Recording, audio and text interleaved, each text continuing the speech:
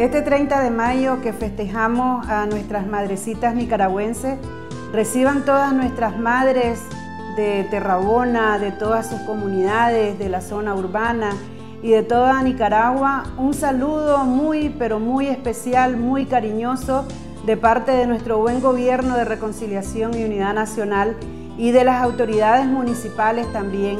Que Diosito me las bendiga y las proteja y que este día pues sea un día lleno de mucha alegría, de mucha prosperidad, de muchas bendiciones, madrecitas, que las pasen bien, que Dios las bendiga y que nuestro Señor Jesucristo siempre esté ahí al lado de ustedes llevando esa paz, esa tranquilidad, esa reconciliación. Eh, felicidades pues, madrecitas, de, de parte de todo nuestro buen gobierno, tanto nacional como municipal. Que este 30 de mayo sea un día lleno de mucha prosperidad, de mucha dicha, salud y bienestar.